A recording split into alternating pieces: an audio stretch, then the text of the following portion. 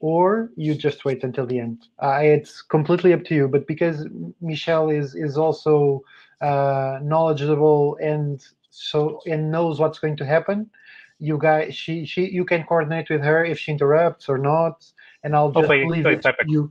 And if you need me, I'll be here. okay, very good, awesome. Yeah, yeah, we'll we'll do it that way. So if there's any questions, please, um, everybody who's watching already, just um, ask them in the chat. If it's uh, useful to to discuss it immediately, then Michelle will coordinate that, and otherwise we'll we'll have a collection of questions at the end, and then address those um, towards the end. Yeah. Okay. So let's um, let's give it one. Maybe I can start by introducing uh, you both. So, uh, well, introducing the workshop. In this uh, in this workshop, we'll be talking about single particle tracking um, via the classical uh, approach, which is uh, light microscopy and uh, using nanobodies or PALM or whatever is. And you, you we have had uh, talks in the morning talking about it, so it's actually perfect. And uh, but we also have a bit of iSCAT, and uh, David and Michelle will explain to all of us what it is and how you can uh, expand uh, your toolkit if you're doing live cell imaging. Okay, so now ah, let me just say that uh, we we I worked with David in London, so I know him quite well. So I know this is going to be very interesting. so no pressure. And uh, now the floor is yours, David and Michelle. Thank you so much for being here. Yeah, and uh, thank you, Pedro, for giving us the opportunity to present uh, some of the methods we're uh, excited to work with here. Um, yeah, so this will be in um, a workshop in two parts where we're going to first talk uh, about um, a bit more of a classic approach that uh, probably a lot of you are familiar with uh, using fluorescent labels for single particle tracking. And then the second part will um, work towards using a scattering label and doing some live iSCAT, hopefully. So um, let's get started in section one. So we and many others are very much interested in membranes as they're just a very uh, vital part of biology, um, compartmentalizing just about any uh, any organelle and being very complex structures. And uh, I'll, I'll, just start with um, with this as a little bit of a motivational slide. So on, on the left, you, you have uh, one of these many cartoons that you're all familiar with, um, and we know the composition of uh, of membranes. Um, but but a lot of our knowledge how they uh, how they actually look like, how they behave, come from uh, microscopy methods. And here on the right is a is a typical image of a COS7 cell that is expressing uh, GFP GPI, uh, GPI anchored GFP that is in the outer leaflet. And it's a very nice membrane stain. And then we can look at the at the membrane of a of a cell. Um, and in in general, the the membrane is relevant for so many different uh, aspect of biomedical science because it's involved in in pretty much any uh, form of of signaling, uh, any cellular interaction, and then also if we if we think about pathogens uh, like viruses, um, the membrane is the barrier the virus has to has to cross. So there's a lot of uh, interest in um, uh, in membranes in in general, and single particle tracking is just one very cool method um, that can tell us more about the membrane. Now, the, the idea really is that we want to investigate uh, properties of individual molecules and thereby gain some information about their interactions and eventually their function in a in a cellular context. And if I just if I just play this uh, this video here, um, it's an example of uh, single uh, molecule imaging by by fluorescence. Um, we have a lot of different species of uh, fluorescent molecules here. So we have this this very large and bright blob that's hardly moving. So that might be um, might be like a large vesicle and aggregate.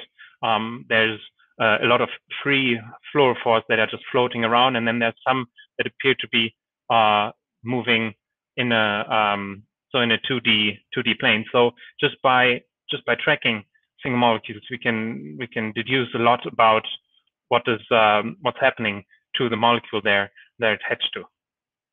Now, there's a number of requirements for uh, for single particle tracking, and first of all, it's it's important we need a specific label. So we want our label to be um, on a on a specific molecule, and we want to be certain about that.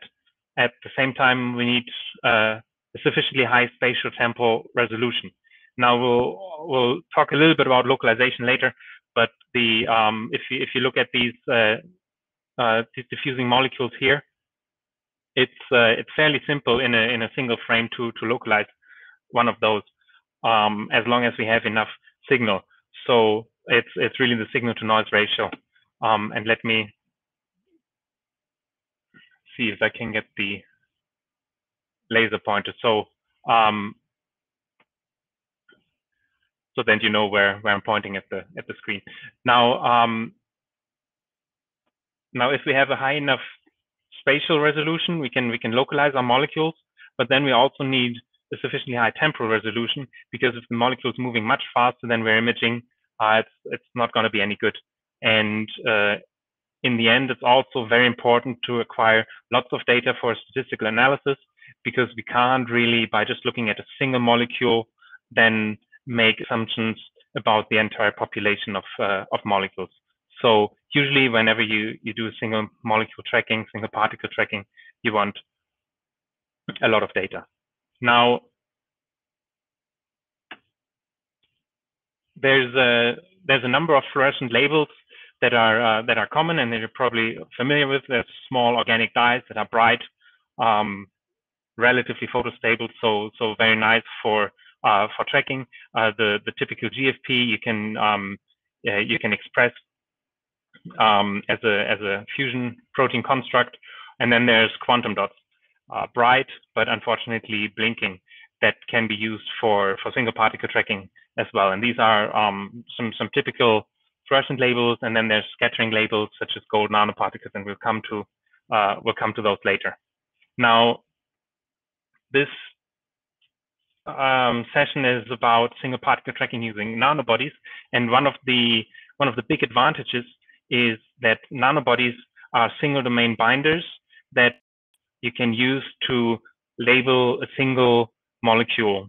Um, so you're not uh, not in the problem like with a with a polyclonal antibody that you're not really sure what your labeling ratio is. And the other advantage is that there's um, already quite a collection of, of nanobodies against different targets. For example, there's a very uh, high affinity nanobody against GFP. So in, in our example here, where we can have a, a cell expressing GPI GFP, we can't really do any single particle tracking because the membrane is just full of, uh, of these GFP GPI uh, molecules. But if we, if we now label a subset of those with a fluorescent dye, then we could, uh, and then obviously that would have to be in a different spectral channel, but then we can, uh, then we can look at individual molecules. Um, and the, way that looks like. So if we zoom in here in this area, so if we um, if we think about it, so if we have a if we have a nanobody that now detects our GFP, uh, we can label a small subset of molecules and then track these individually.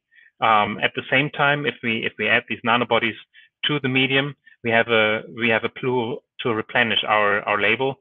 So once once these molecules start to bleach, uh, that there's uh, that there's always new new binding events. And uh, this would look um, um, possibly like like this. In this example here, we actually have a quite quite a lot of nanobodies bound already, and uh, and you see uh, some some individual uh, point spread functions here uh, potentially, but in, in a lot of areas, so there's there's a lot of overlap, and that is that is another thing that's really cool about using uh, fluorescently labeled nanobodies is that you can now titrate. So if you say, okay, this is this is possibly a little bit too much, you can just add less to your uh, to your experiment.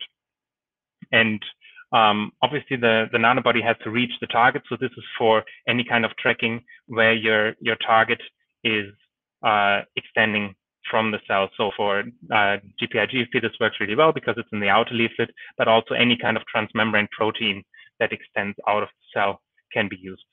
And there's a number of commercially available combinations of uh, nanobodies and, and fluorophores, but it's all, also fairly simple to label them yourself. I'm, I'm not going to go too much into detail um, on uh, on that, but there's a there's a kit available and and it works quite well. So if you have uh, any specific dye you really would like to use together with a nanobody, that works. And if you have any um, receptor or membrane molecule that has already a GFP attached, then uh, just using an anti-GFP nanobody is, uh, is actually a very nice tool. I'll just give you a couple of examples now where we've used this in the in the past. And um, one is uh, investigating the diffusion barrier at the axon initial segment. And here's a, um, uh, an image from uh, my, my PhD where we transfected neurons with uh, GPI GFP. Um, and, and again, so it's the, the, the GFP really in the outer, uh, in the outer leaflet, and then it diffuses in the entire neuronal membrane. And um, the axon initial segment is just this proximal stretch of the, uh, of the axon and it separates the somatodendritic domain from the axonal domain. And um, what we uh, what we did then is add just uh, low amounts, um, and this is in the uh, in the picomolar range of uh, fluorescently labeled nanobodies. These then attach, and we can uh, we can track them. And I hope these videos um, that they that they play. And this is um, this is two examples uh, here on the left is on the on the proximal section of the of the axon image, and we can see the the slow, um, relatively slow diffusion and uh, and um, of of individual molecules, and they're not really traversing the entire length. And then here on the on the right, what you see is a, a is a, a, video acquired uh, at the distal axon, where we uh, where we then see faster motion, and then they also traverse much better. And looking uh, at the trajectories of these, and these are now some um, trajectories acquired with quantum dots uh, what we noticed is just linking uh, linking all these uh, localizations that we have this emerging pattern here in our trajectories. and this is a, shows a very nice um, periodicity of roughly 200 nanometers. And uh, this is very, uh, very cool because it's uh, exactly like the periodic actin spectrin cytoskeleton underneath. So we, uh, uh, so this was work where we looked at uh, how the diffusion in the membrane is influenced by the submembrane cytoskeleton as one example. Now, sometimes it's not enough to just track a single, a single species, a single uh, membrane molecule. So we, we have here our uh, GPI GFP, but um, as I said in the introduction, uh, sometimes you want to look at uh, interactions of different proteins, maybe even uh, interaction of uh, of two diffusing membrane proteins. And one possibility is um, to to do dual color um, labeling approach, where you then uh, label the two different proteins and image them either sequentially or simultaneously. Now, sequentially always has this problem that you um, that if you want an, at an actual interaction, uh, it's much better to uh, to acquire the um, both signal at the same time. And one possibility that we that we looked into then is that instead of using, uh, uh, um, so we can still use the GFP on the on the one hand with our um, one probe, and then here's a transmembrane um, probe that has an mHoneydew. So this is spectrally very close to GFP, but because it's derived from DsRed, uh, we can use a different nanobody. And the idea here is now we just label our nanobodies, two different nanobodies that individually uh, detect these two, the GFP or the mHoneydew, with different uh, fluorophores, and then with the right set of filters, we can image these simultaneously. And what you see here is uh, in, in, in red is the, uh, the GPI anchored uh, protein, and then cyan, the transmembrane protein. And now I just play the play the video. Um, so we can we can see both now simultaneously diffusing. And you'll notice these two bright bright spots here on the left and on the right. Um, and these are fiduciary markers so that we can uh, that we can set our imaging plane and also for for image registration. Um, David. Yes. There would be a question that I guess would fit here. So uh, Maria Garcia Barraro was asking um, whether there are commercially available nanobodies directed to other proteins rather than to GFP. So directly targeting your protein of interest. Um, yes, there are already quite a few nanobodies uh, available. And uh, so one um, one other advantage. Um, so if you're if you're familiar with the um, with the typical immunofluorescence where you use a primary and a secondary antibody is a problem that re- that doesn't really work for single particle tracking because uh, of the stoichiometry um, and and because it's uh, like a two two step labeling uh, approach that would cluster your your proteins. Um, so that's why a lot of nanobodies are being developed also uh, for for medical applications. Um, I'm, I don't have a list prepared, but there's nanobodies for for a lot of targets available. If you just um, if you just search for them for them online, there's more and more companies um, uh, selling those.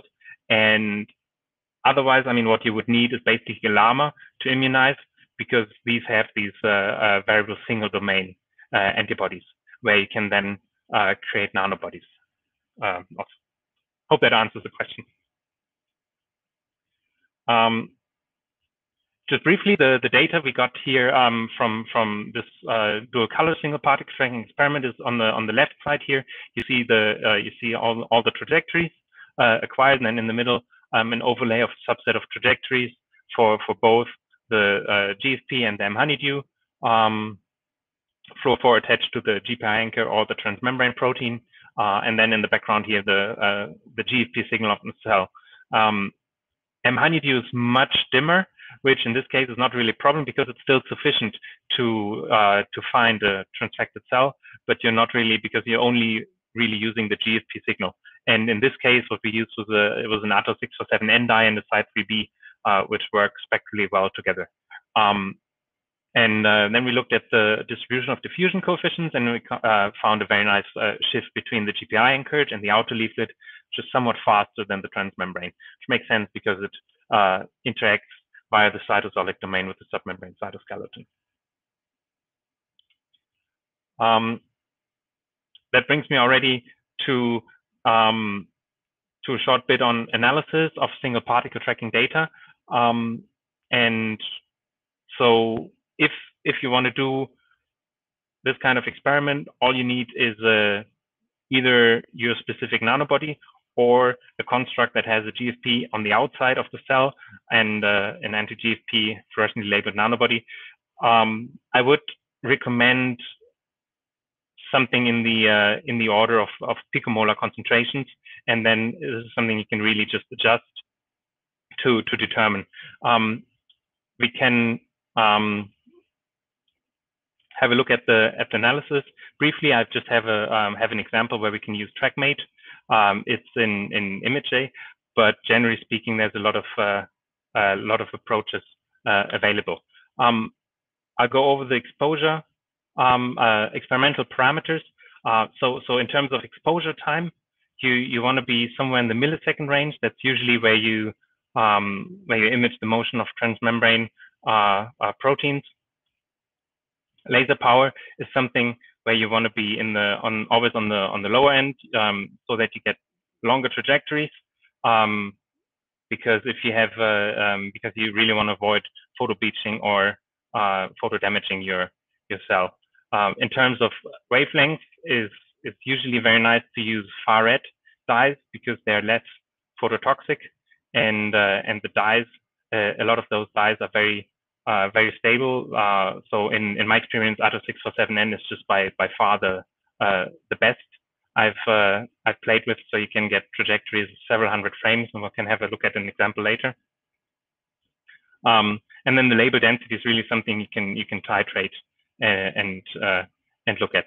Um, another thing that if I mean like a like a practical advice, be mindful of the timing because a lot of um, molecules, I mean, a lot of uh, transmembrane molecules have a steady turnover. So if you wait too long between uh, between your labeling and imaging, you, you will end up with a lot of uh, fluorophores already in endocytic vesicles, and these uh, can be uh, uh, quite a nuisance in your in your imaging. And something else to keep in mind is you want to have have a look at different forms of illumination. So if you can, if you have a TIRF setup, this is really nice to reduce the background from unbound uh, fluorescently labeled nanobodies. And you can also use uh, oblique, oblique illumination to that end. and here's a here's just an example of a of a video analyzed with with TrackMate. And uh, in this case, it's it's very simple because it's a single molecule, so we get a very uh, very nice trajectory. But you can already see from from the behavior of the molecule that this is certainly not free diffusion. So then you can uh, also go into the into the details of analyzing the uh, the motion behavior. Um, May I interrupt you here quickly? So there's a follow-up question um, from Maria, and um, whether there are any restrictions in terms of the dyes being compatible with the nanobodies?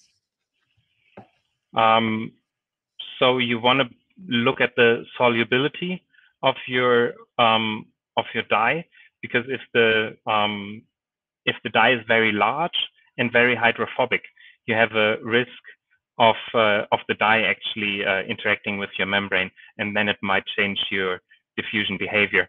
Um, so any any dye that is uh, that is nicely water soluble should work, but in the end, there's something um, where I would just I would probably just just try it. Yeah. Um, so at some point, the I mean the the far, some far red dyes become really big. Um, then at some point, it's the uh, the is about um, I mean won't reach the size of a nanobody. But if, if you have something around the size of three kilodaltons, then it might start seeing an effect there. Mm. But otherwise, solubility, yeah, if it's water soluble, should work. Um, just very briefly here on uh, um, so so if you're if you're new to single particle tracking, some uh, this is a very good uh, this is a very good starting point uh, to just use TrackMate in uh, in Fiji or or ImageJ and this will get you already a lot of a lot of results. Um, even though I have to say that most people, when they go heavily into single particle tracking, at some point start writing their own script and uh, writing their own analysis. And just very briefly, so um, so any kind of um, in in any single frame, you have a fluorophore that emitting, and and your raw data is it's just really this this point spread function, and it's uh, um, as you've probably heard in the in the course of this um, uh, this conference, uh, it's really just a, a, matter of fitting this with a with a Gaussian, then you get the localized uh, position.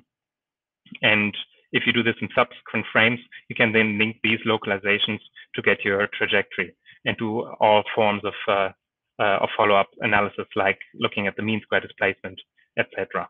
And uh, here's just a quick example um, uh, of how this uh, this then might might look like of a um, uh, of some data recorded first uh, and then analyzed with, with TrackMates where we um, have the localizations and then shown here the trajectories. And I hope that shows somewhat well, software. Um, okay, with that, I'll just briefly open the remote desktop. I hope that works. You can you can see um, we'll, we'll have some. Um, so for the fluorescence part, I pre-recorded some uh, some data because that was uh, a safe option. Um, so we'll, we'll, just go through a few practical things. And now, if you have any any um, practical questions on on uh, for that uh, sort of uh, um, what you want to look for, just uh, just fire away. Um, so here's a this is a, what I would say is a nice um, image sequence where we have a, um, quite a few bound flow force, but it's not too dense to actually do single particle tracking. We have a very nice signal to noise, so we can localize them. And uh, and from from these, if you, I'm not sure how fluent the motion is on the uh, uh, on the video platform, but we can get trajectories of up to hundreds, uh, uh, several hundred frames actually, and this is recorded with ATTO 647N. Um, I'll just open um, a couple more data sets. We'll have a look at that. By the way, um, David, it's uh, fluid, so we can see the particles moving. Okay, that's very nice. Good. So here's a, um, this is actually the same cell, um, and uh, just with uh, less laser power, and uh, uh and what you can what you can see here and it's a different uh, uh, it's actually different different part of the cell but what you can see here is it's it appears a lot denser and we have here on the sides um, a lot of a lot of area where we can um, I mean we can still see the motion, but we can't really see individual molecules. And this is uh, this is an example where you you just need a bit more laser power, and it will help you in two ways. First, it'll increase your um, uh, the quality of your localizations, but at the same time, what it will also do is bleach some of the molecules, so you get more into the regime where you can do single emitter fitting because one of one of the real problems is as uh, every every time these uh, these fluorophores meet, um, you, you will have a hard time figuring out uh, which trajectory belongs to which, even though there's already um, some some approaches to uh, to solve that. Um, I have another example here. Um, one of the one of the things you also want to uh, want to keep in mind is that you have a stable setup because uh, if you if you have some focus drift, uh, this can be um, can be really an issue. So this is this actually started as a very nice imaging session, um, and what you can what you can see here um, is that some of the molecules um, are, out of focus, and uh, and in this case you want to um, you want to be sure where you're um, where you're actually imaging.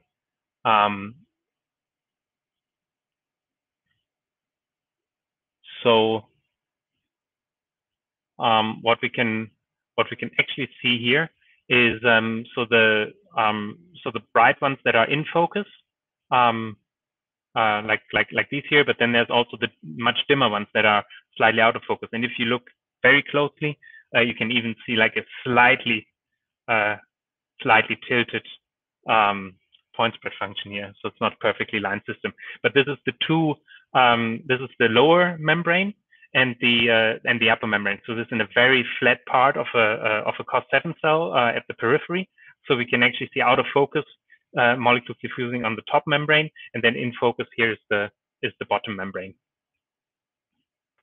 Um, but for this kind of imaging, focus stability is uh, is very important. And uh, Pedro is just asking, how about tracking molecules in Z? Um, yeah, so this is um, it's definitely possible. Uh, you with with fluorescence, you're um, you're always uh, with a sing, uh, simple point spread function like this. Uh, this is this is quite tricky, but you could do point spread function engineering. There's different approaches, so this is definitely uh, it's definitely possible, but it's not from from this kind of data not not trivial. So would need um, need to play with the optics, and also if you look at the the point spread function uh, of a single molecule here in fluorescence in that it's uh, um, it's not very uh, I mean it's not not trivial um, and we'll come to some 3D tracking later. Um, and sometimes um, just as a um, as a quick uh, quick last example um, here.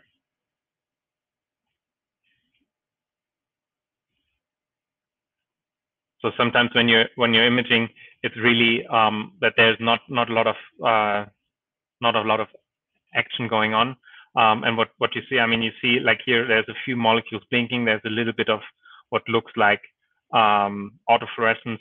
So this is a um, this is just an example where the um, where it, it, just didn't work at all. So there's a single there's one single molecule that, that's diffusing a little bit here on the side.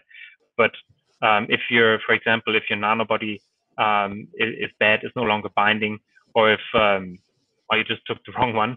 Um, this is the kind of uh, so you, so you always if you if you have single molecule sensitivity, you'll always see something. But it's uh, this is an example of where where the experiment just didn't work. Um, so then you can't do do any tracking. Yeah. There's another question from Rodrigo. So, is it possible to track single particles with nanobodies also in other organisms like bacteria, for example? Um, so as long as you can uh, attach it, uh, that should work. So if you, for example, if you um, if you have a bacterium and you have um, again your your target on the outer uh, on the outside, uh, then it works.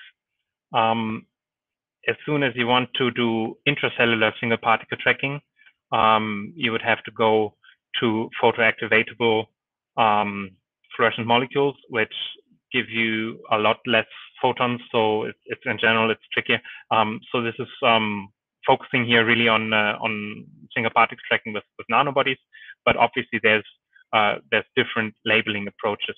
So you could go directly for a photoactivatable um, fluorescent protein, for example, if you want to image inside a cell or inside a bacterium. But other than that, as long as uh, as uh, um, accessible to the label, yes, definitely. Just have to see. Um, so one one thing that's really nice about um, cells is if they're growing on a glass cover, they're nice and flat. So as soon as you have a bacterium, you'll you'll probably run into issues that uh, that it's a very uh, high curvature.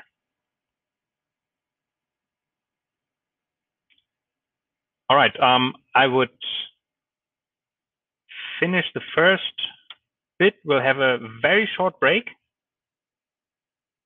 And you can now ask questions on the nanobody part, and then we'll continue with iSCAT in just about a minute. So if anyone has any questions, feel, feel free to ask away. And uh, if there's, ah, okay, Romain is asking, uh, any experience with membrane permeable, that is halo tags or similar dyes for intracellular tracking? Um, I played with membrane permeable dyes, but not for, um, actually haven't done single particle tracking with those. Um, it's uh, uh, it's interesting though. I mean, anything that will um, that will become fluorescent upon binding is uh, is always a candidate, and there's uh, I mean, theoretically you could even uh, electroporate uh, antibodies or nanobodies into a cell, but I haven't actually haven't seen that done uh, for for particle tracking. So no, I can't really uh, can't really comment on that. Sorry. And uh, while we're on a short break, I'll link this question with Rodrigo's question because uh, nanobodies will have to go through the cell wall. And despite the fact they're really small, they're still big. Or if you're working with gram negative, you they would have to go through the outer membrane. But uh, halo tags would be an excellent alternative if you want to track uh, proteins inside bacteria. So we have another question from Rajesh. Could you please comment how to differentiate between single particles, single particle tracing and the drift? Yeah, that's a um, that's an excellent question. So you've seen in one of the earlier videos um, some fiduciary markers, so you can always use those, um, and then use them for drift correction. Otherwise, if you have a very high density, um, you could even look at uh, correlated motion of the of the particles and then take the drift out. Even though on the time scales where you where you do your single particle tracking and how you analyze the data, um, even a little bit of drift would not make a huge difference. I would um, I would dare to say.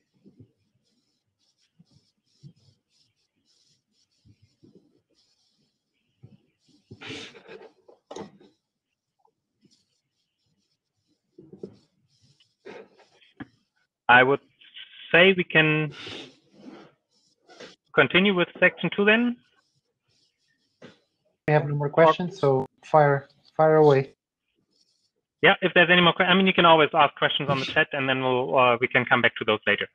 So uh, section two is now single particle tracking via iSCAT, and um, in I mean, we, we talk a lot about fluorescence, and you're if if any of you've done any sort of fluorescence experiment, you know that there's uh, quite a few limitations. For example, eventually your label will bleach.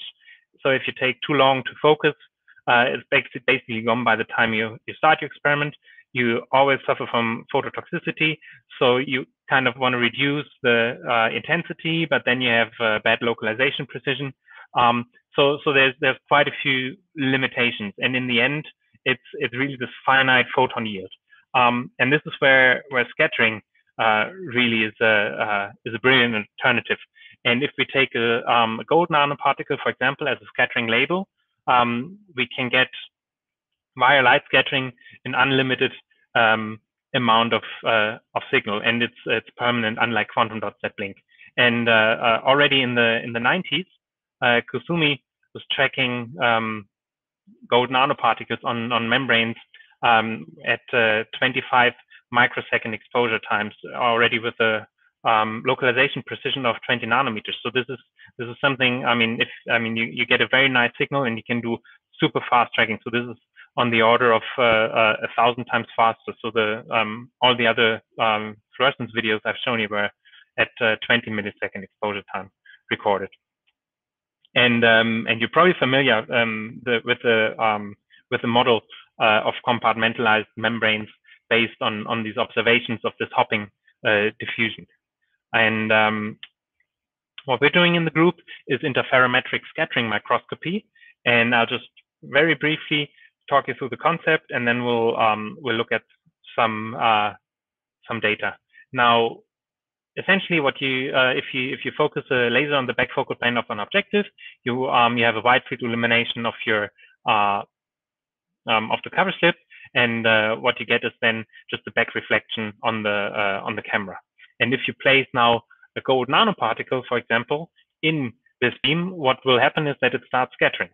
And this scattered light will then be reflected back and focused onto your camera. Now, the intensity um, of, uh, of your signal on the, on the camera now is um, really the, um, the squared sum here of, uh, uh, of, your, of your reference and your uh, scattering electric field. And if we break this down, um, we uh, we basically get here the reflected light. Um, we get the Rayleigh scattering, and this scales to the sixth power of the diameter of your of your particle. And then we also have this cross term, which is uh, the interference between uh, between these two. And this scales now with a third power of your diameter. And this is really the um, the the Rayleigh scattering um, becomes very, very small very quickly if you have small particles. And that's why with dark field microscopy, for example, you're limited to some somewhere around 40 nanometers. However, because this cross term here scales only to the third power uh, of the diameter, even smaller particles can be detected um, while looking at the interference. So if we take uh, here 40 nanometer gold particles on, on a cover glass, um, you can very nicely see here the dark uh, dots with the um, with the ring surrounded uh, with a very, very nice contrast. And this is basically the interference of our reference with the uh, with the reflected light. And with iSCAT, we're basically shot noise limited in our signal to noise. And because uh, um, scattering is um, is a coherent process, we we have the, the advantage um, that we can just increase our laser power to get more to get more signal. Um, now, an example for single particle tracking um, via iSCAT of gold nanoparticles from our group um, is here like a, a lipid, supported lipid bilayer, an artificial membrane, where we have single gold nanoparticles now attached to lipids that we're tracking here up to with up to 1 million frames per second uh, with a localization of uh, uh precision of less than 2 nanometers. So very um, very impressive uh, imaging. And this is done obviously in a, a, in a super clean environment on an artificial membrane and in, in two dimensions.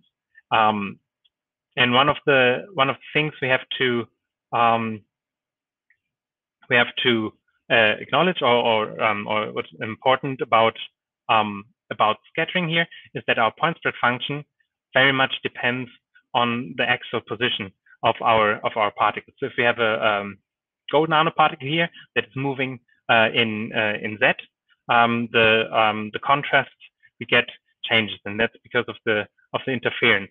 Um, so we can get here um, a negative, a very negative contrast. Here, actually, in the um, when we're in the in in between these two in the in the focal plane, we can we can see how the uh, how the actual contrast here in the in the very center is uh, hardly any different from uh, from our from our background. And here we get a positive contrast. So we can use this information to extract the the position in in that of our of our particle, and this enables us to do high precision three dimensional tracking.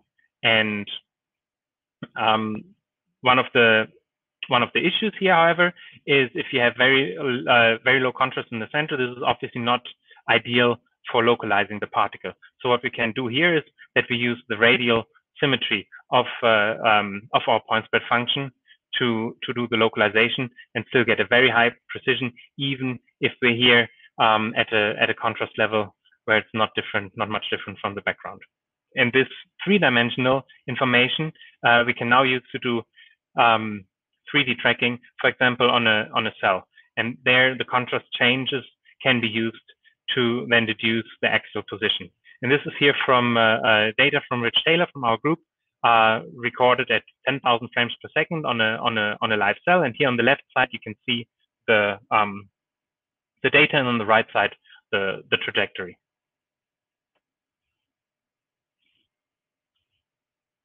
Uh, another example where we've done uh, single particle tracking with uh, via iSCAT uh, and, and this time on, on neurons is where we have here the um, on the on the left side a reflected in intensity of our signal and then a differential signal.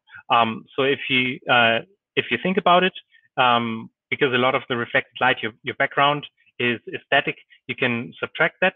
But if your gold nanoparticle is now moving in the differential signal, it will very nicely um, stand out. And you can then use that to track. And in this case, it was again uh, GPI GFP particle. And you see the localizations um, here. Um, and um, David, maybe I can interrupt you for some questions. So we have one question um, regarding the scattering light from the gold nanoparticle. Um, there was a naive idea whether there's a directionality um, of the um, scattered light compared to the laser reflection um, at the cover glass imaging medium interface, and um, whether one sees these fluctuations in the signal. So I sorry. Could so I guess the um, if I get the question correctly, Julian, um, you think that laterally you would have um, an unstable signal from the gold nanoparticle. But um, so yeah, what I would say is that um, due to the wide field illumination, your illumination or your field of view is way larger than your nanoparticle. So you don't have a lateral gradient, and therefore your response from the gold nanoparticle does not depend on the position. If that answers your question. Yeah, okay. And then there's another question by Ricardo, um, whether the radial symmetry calculation is similar to the one implemented in SURF. It's actually a good question. Um, one I would uh, pass on to you. Um, I think not entirely. I mean, we we maybe we can come back to to the data analysis at the uh, at the end again, um, mm-hmm. and just just continue continue for now. Yeah, yeah. yeah. I'll get back to you, Ricardo, uh, on that. Okay, so here um, just the example where we then have uh, um, see our trajectories, and this is uh, this matched very nicely what we've seen in fluorescence with the with the quantum dots earlier.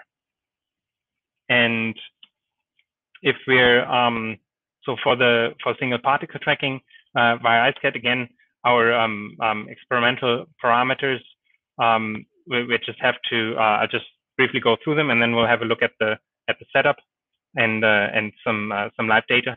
So again, um, we need to set our exposure time generally we're using uh, CMOS, so we have very uh, very short exposure times. We we'll, um, usually start around one millisecond, but we can actually go down in, into the microsecond range with with fast cameras, um, and that just needs more laser power. Um, uh, so laser power really is, uh, um, yeah, you, you, just adjust it to to get the right uh, right amount of signal, and it's really important for the for the camera that you have a um, a high well depth because um, you have a lot of reflected light so we're, we're really um, uh, imaging at the uh, uh, at the upper end of the well depth of the camera, ideally. Um, wavelengths, again, um, I mean, lower wavelengths, we get a better resolution, but then we have to see um, where we get a good signal um, from our from our gold nanoparticles, and that depends uh, uh, on the on the size. For the label density, um, here. Um, yeah, um, well, and we'll, we'll, we'll look at that uh, live in a in a moment. Um, something to keep in mind is that it's uh, that it's more difficult to label with a gold nanoparticle than with a with an antibody, just just because of the size. And even if we link the the gold nanoparticle with the same um, with the same nanobody uh, to the same label, our labeling efficiency um, is, is, is much lower, and that's likely also um, due to uh, the bigger size, so we have lower um, lower diffusion in, in solution of the gold nanoparticles, but it might also be some steric or electrostatic uh, repulsion. And then timing, pretty much same thing. Um, just have to figure out when when to label, when to image. Um, so if you want to pre-label your um, your cells and then then do the imaging later, um, but you don't want all your labels to be internalized um, already. Um, yeah, and then here for uh, I still have this this up, but uh, but really the um, the illumination is uh, um, in this case is wide field um, for uh, for the iSCAT. So we're not uh, we're actually not using uh, any of these. And with that, I would say we'll we'll start the practical part, and I'll be joined by Michelle. So I hope this works now. Um, I'll just go to the setup and I hope you can see. Can you turn on the? Yeah, awesome. So now um, this is uh, this is our setup. I will just um, just talk you through um, through it briefly, um, and we'll change the laser to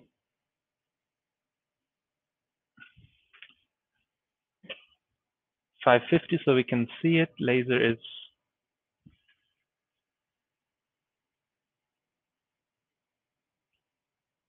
on.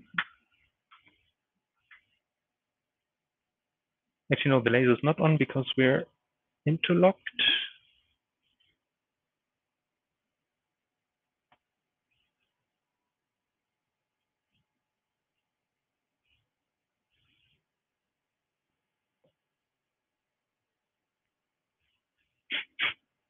Okay, okay.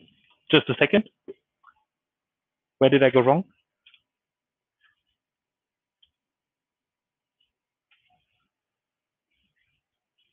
Yeah, now it's on. Okay, cool. I'll just walk around and then we'll uh, um, I'll, I'll, talk you through the through the setup. I hope um, so. I'm wearing the microphone. I hope this is working. Otherwise, Pedro, you um, as soon as you can't hear me anymore, please interject and we can have. I can change this a little bit so you can see. I'll let you know. No worries yeah, my back. Uh huh. Well, okay. So um, in the in the main um, camera, you can now see here is the laser, um, and it's uh, fiber coupled um, into our system. And we'll just talk about this iSCAT module that is here attached to our um, microscope body. So this is you can you can see this as an extension that uh, um, that you can use to upgrade any any system to to do iSCAT. And what um, um, I'll just walk you through the through the beam path, and uh, that explains the the technique already quite well.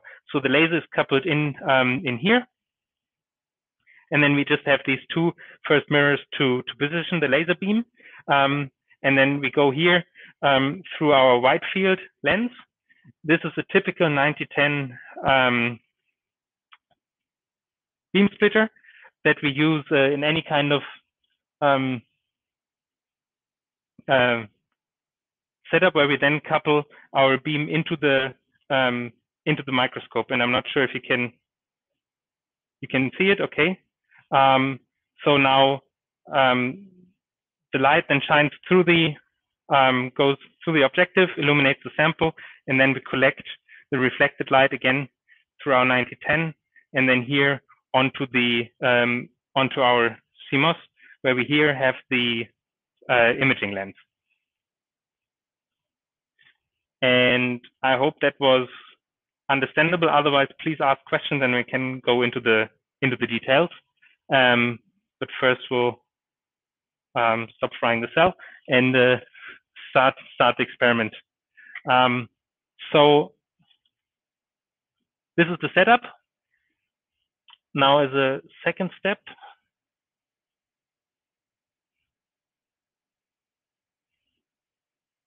um, we have here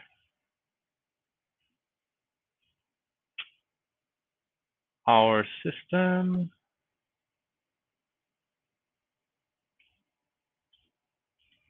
So this is our um, this is our camera control software that's in-house uh, developed, and currently we're just uh, so this is the signal on the CMOS, so we're currently not seeing anything, and um, we can now if we remove the laser beam from the from the uh, uh the beam block, uh, so now we uh, we are illuminating the sample, and what you can see here is the now is the cell. Um, and if I move around a little bit, and I hope maybe we can, if we increase the signal a bit, maybe you can see a bit, bit better. So, um, so if I move around, it might become a bit more, bit better visible. So this is here a cell. This is a, it's a HeLa cell that we transfected with uh, GPI GFP. You can see at the at the um, at the top here, there's a there's a few filopodia uh, moving around, and this is here this is here the cells. If I move slowly past you can you can see you can see the outline. And what we'll do now is we can um, enable um, subtraction of the background, and that didn't work because it didn't normalize. Okay, so now we have a um, uh, we subtract the background, and now you can see the um, you can see the cell um, a bit more clearly. And let me just see if I can focus a little bit so we can you can see how the how the background changes um, depending on the focal plane. So um, and this um, all this little um, little motion, this little wiggling um, is the is now that's uh, um, well any sort of vesicle, any material inside the cell. Because of course, just like a gold nanoparticle will will do in a in a moment, anything in the in the cell that will also any material in the cell will also scatter. So we get a signal from that. And what we'll do now is I will pipette um, gold nanoparticles onto the sample live, and hopefully we'll see them land, bind, and diffuse. And um, yeah, wish me luck.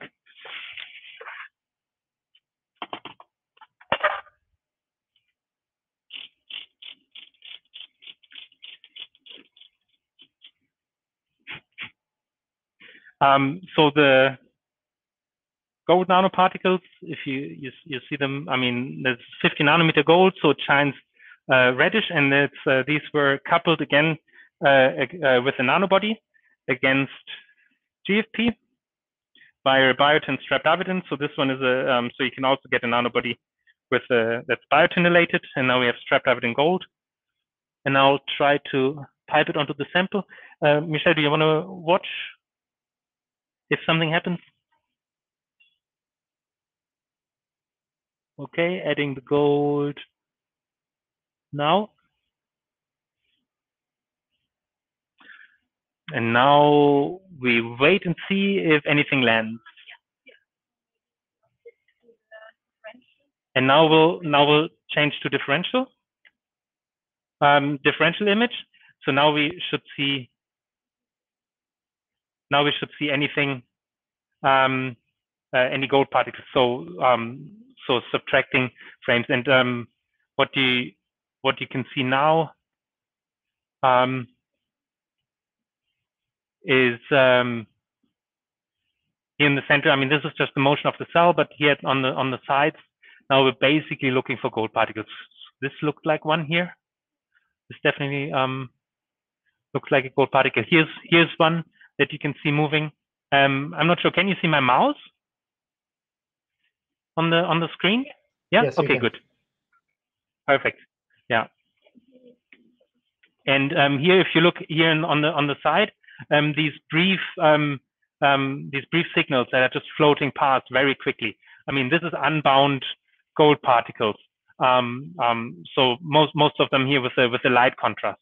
So just to be on the on the safe side, I actually added a lot uh, in this case.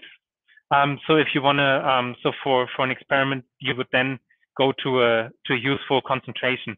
Um, I mean, obviously you don't want to wait for, for several hours for something to bind, but if you add too much, at some point your sample will be crowded. Um, and we can now move, if we move around, you can see the outline of the cell, obviously, because of the, um, of the differential. Now we can see if here, for example, um, on this side where we have um, like a little podium. See if we can get this a bit better into focus in the center.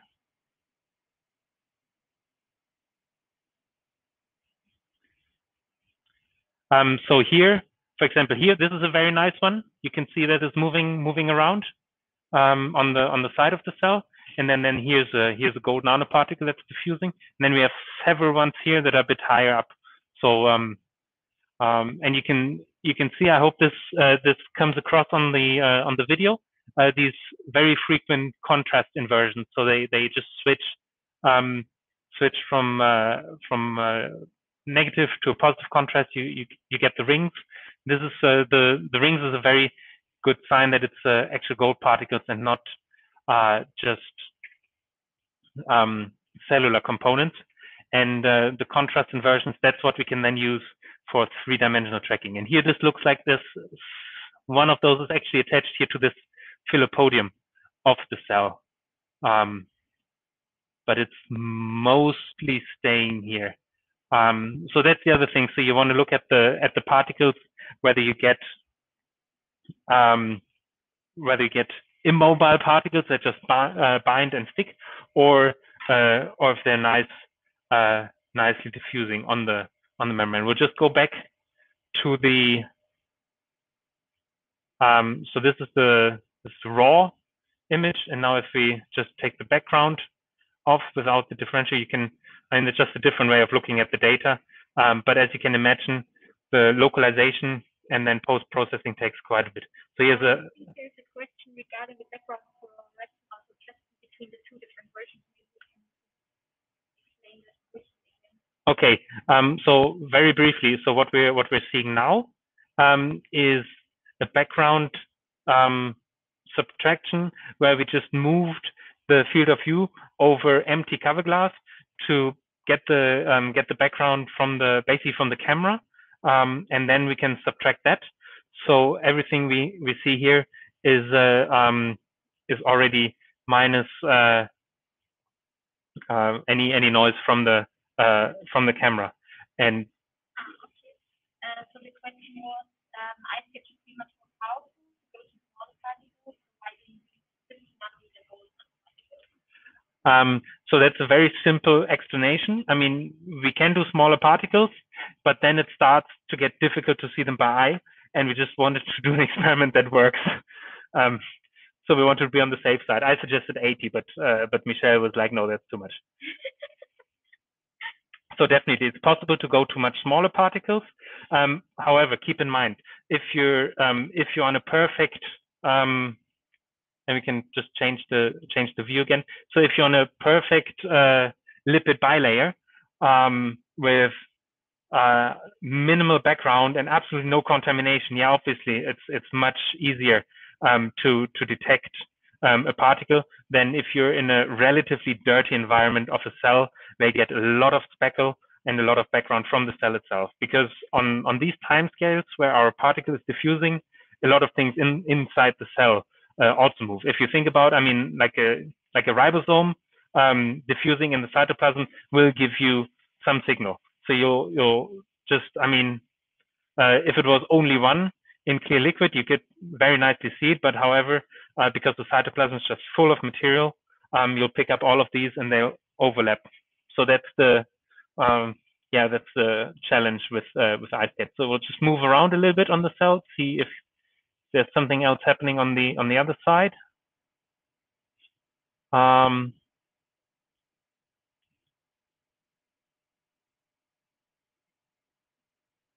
so it looks like there's something bound here at the at the top, but it's mostly stationary.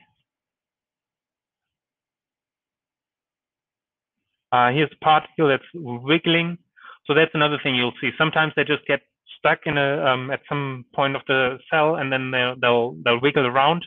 However, um, some particles diffuse diffuse freely.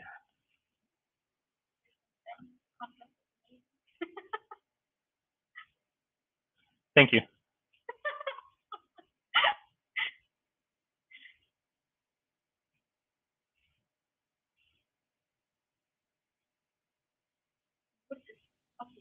So we have an, another question from Julien. Would the despeckling element compromise the contrast of the interference?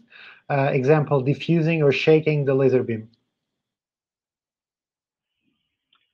Um, so if we um, shake the laser beam, that would not, um, um because we get uh, the speckle from, um, not from the laser beam, but actually from the cell here. Um, the speckle from the laser beam we can we can account for. so uh, I guess, what would you say? Um, the question was. Um, yeah, okay. sure. -hmm. So um, in principle, it depends on the coherence length of your laser. Um, if you have a long coherence length, then obviously you will get speckle from different optical elements in your beam path. So we tend to use um, low coherence lasers that are not incoherent, but still coherent enough that we get interference up to several microns above the cover glass. And with that, you can reduce the background that you get. Um, with advanced um, image analysis, we could also account for um, higher spectral background, but the spectral that you now see here is actually the um, remaining um, scattering signal from your cell. So that is um, yeah information that you don't want to just throw out. Thank you, Michelle. That's why I brought the expert. By the way, David and Michelle, I sort of lied to you both. Uh, there's actually a workshop after you. So that starts uh, at, at now, basically. So you can carry on, and people, if they want to move to the zero cost workshop, they're more than welcome. If they want to stay and chat with David and Michelle, they're also very welcome. Um, it's up to you. Yeah, thank you. Um, we're pretty much done, but any more questions, uh, you're more than welcome to ask. Um, you will also, I'll just very quickly go back here to the acknowledgement slide um, because we're, we're a large team and uh, there's a lot of people uh, here involved that make uh, our experiments possible. And uh, um, want to especially uh, also thank Vahid Sandoghdar for giving us the opportunity to work here. Um, here's a picture of the Max Planck Institute for the Science of Light, where we enjoy um, this kind of weather every day. Um, and here are the references for the uh, data shown, um, just to have uh, to have that on screen for a moment. If you have any further questions, just please stay on uh, um, on the session and, and, and feel free to ask. And otherwise, here at the bottom, you'll also see my email address so you can just also send me an email later.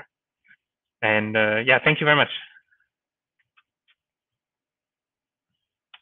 Thank you, Michelle. It was lovely. And now let's see if we have questions from the audience. I think there was still one question open from Ricardo. Uh, oh, yes, from the image analysis. Exactly. So I have been writing them all, uh, having writing them down. So actually, uh, yes. Uh, the, is the radial symmetry calculation similar to the one implemented in SRRF? That was the question. Yes. Um, okay, so I know that is uh, basically your work, Ricardo. I'm not, but I think that um, your point is also that you're using the gradient of the intensity that you record to find the center of your distribution. And so in principle, if this is the basic concept, then um, using the radial symmetry of the confocal ice, or not the but the iSCAT PSF, um, is the same. The only difference is the signal that we are analyzing is the um, full electric field. So we are um, analyzing the amplitude phase.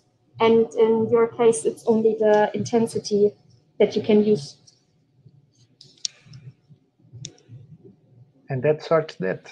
Ah, okay, so we have another question from Julien. How can polarization help? Can you discriminate the GNP polarization signal from the laser reference and split them? Um, yeah, that's actually also a really good question. So um, to uh, increase uh, the um, outcoming signal or the, the, signal that you can detect, you can also actually, that was also shown already, uh, use polarizing um, beam splitter um, instead of the 9010 beam splitter that David just showed you on our setup. And with that, you can then um, yeah, discriminate with a higher efficiency uh, your incident uh, illumination from your scattered and reflected field.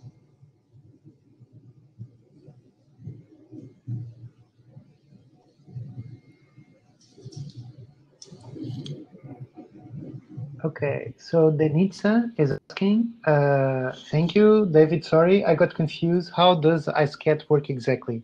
To you always get the effect of scattering plus reflecting when you put gold particles in your sample?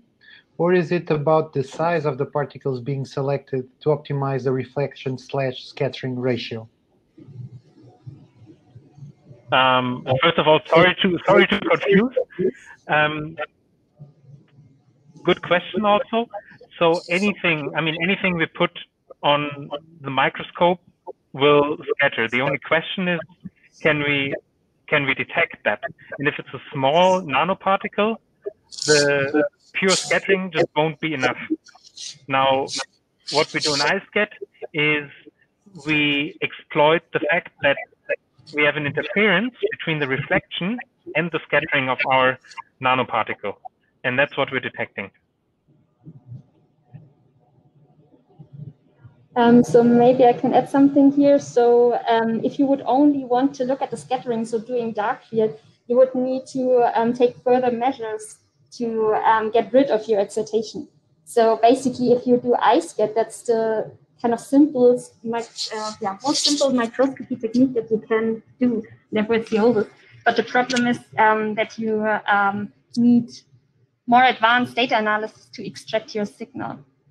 So I guess that's the difference. But your your question is perfectly right in the sense that um, whatever you place um, now on top of the setup, you would always get set, uh, scattering and reflection. And therefore, we use actually the gold nanoparticles because due to their um, plasmonic um, property, um, we can distinguish them from the dielectric um, matter that scatters uh, like the cell, for example.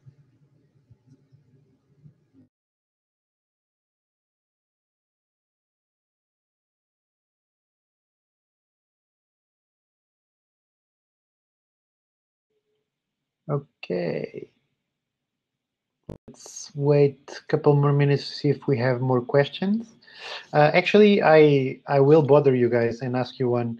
So if you want to do this uh, inside living cells, uh, I imagine that's quite a challenge. So I have actually two questions. If you want to do this inside living cells, and if you can modulate the properties um, or not the properties, but if you can modulate what you're measuring and extract more information if you change metals, for example? Um, yeah, two very good questions. so um, imaging inside a living cell is a challenge, especially in wide field iSCAT, as you can see here. Illumination cone, everything scatters, and therefore you get this um, well-known heterogeneous speckle pattern um, from your cell. But what we are doing, what we don't show here, but what we are currently working on is um, a confocal iSCAT version. So we are basically then spatially filtering um, our uh, signal and um, getting optical slices of the cell so that we can also carry out these experiments inside the cell. And yeah. regarding the, the different metals, can you play with uh, the properties that you're extracting. So now you're tracking gold and uh, you have a, a yeah, you could also go to silver or something else. And you could play with that, but um, the point is that you want to stay in the um, visible regimes and the optical regime, and then the gold nanoparticles are the most suitable. Okay, okay. Um, so Denitsa has another question. Uh, I get, I guess what is confusing for me is that I have used gold nanoparticles in reflection to assess my PSF, and I don't remember the same dark bright ratio that you are seeing below and above focus. Sorry. So I was wondering what is the difference in what I was doing and you are doing. Uh, Denitsa was using 80 nanometer gold nanoparticles, uh, and she adds, anyways, thanks a lot for clarifying. I was just curious. Um, so with um, 80 nanometer gold nanoparticles, the scattering term, um, as David has shown you on his slide, um, actually dominates the interference term. So what you then get in terms of your PSF is mainly the scattering and not interference because it just, um, yeah, is basically behind this huge signal that you collect.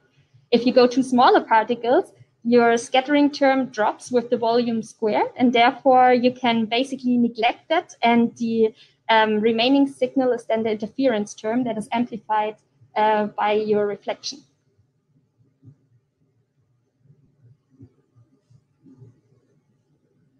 You're welcome.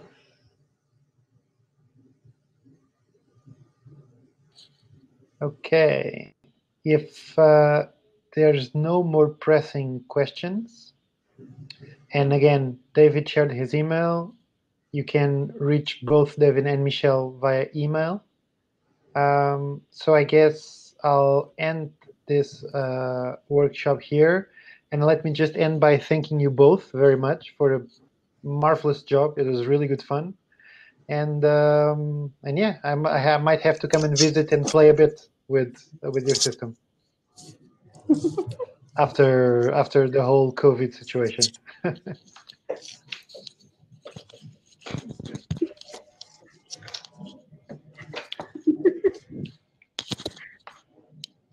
you guys want to add something else?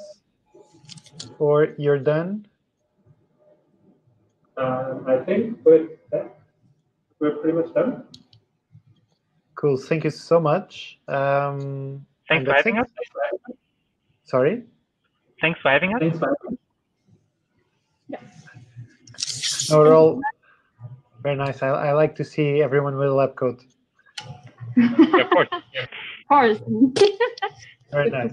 Very nice. this is this is going to be the, the perfect finish. You both with a lab coat in the in the frame. okay, so once I close, you will this will end. So I will say goodbye. Ciao ciao. And thank you all for attending, the ones that are still here, the 20 that are still here. thank you guys. Bye bye. Thank you. Bye bye. Bye bye.